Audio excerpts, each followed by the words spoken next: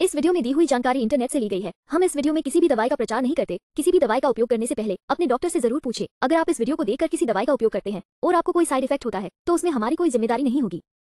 गर्वेश bell capsule एक आयुर्वेदिक औषधि है, जो पाचन क्रिया के लिए लाभकारी है।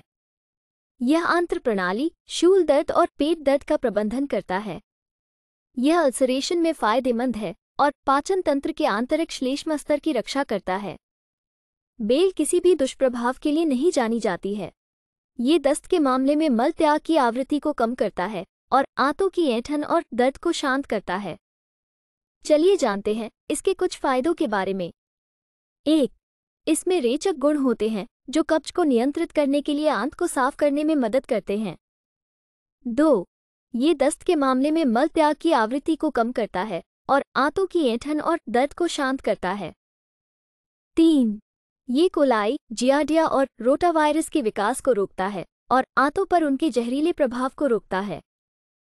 चार यह एक कार्डियोप्रोटेक्टिव फल है जो एंटीऑक्सीडेंट से भरपूर होता है जो हृदय रोगों के जोखिम को कम करता है।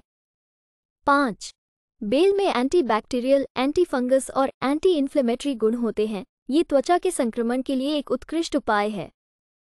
वीडियो को पूरा देखने के लिए धन्यवाद। अगर आपको वीडियो अच्छी लगी हो तो वीडियो को ज़रूर लाइक करें। साथ ही हमारे चैनल को सब्सक्राइब करके, नोटिफिकेशन बेल को और नोटिफिकेशन पर सेट करें।